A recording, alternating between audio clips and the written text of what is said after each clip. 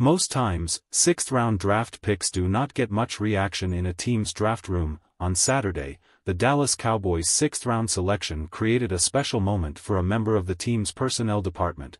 Dallas used the no. 212 overall pick on Kansas State running back Deuce Vaughn.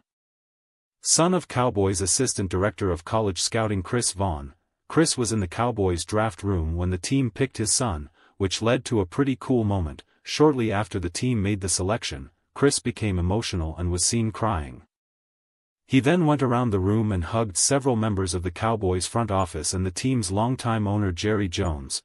At one point, Chris even had the opportunity to speak to Deuce on the phone, presumably to break the news that he would be the newest member of the franchise. Despite being listed at 5 foot 6, Vaughn had a productive college career. Vaughn was a versatile player at Kansas State and did not hesitate if the coaches called on him to run in between the tackles, we started to use him as a pure running back as the first season went on. I've been saying ever since he got here, He's a very underrated running back between the tackles, some of his best plays have 3 to 4 yard gains that could have been 5 to 6 yard losses, you can't get clean shots at him.